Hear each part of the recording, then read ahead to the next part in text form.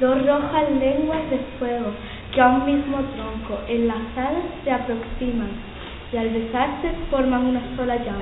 Dos notas que del laúd a un tiempo la mano arranca y en el espacio se encuentran y armoniosas se abrazan. Dos olas que vienen juntas a morir sobre una playa, un penacho de playa.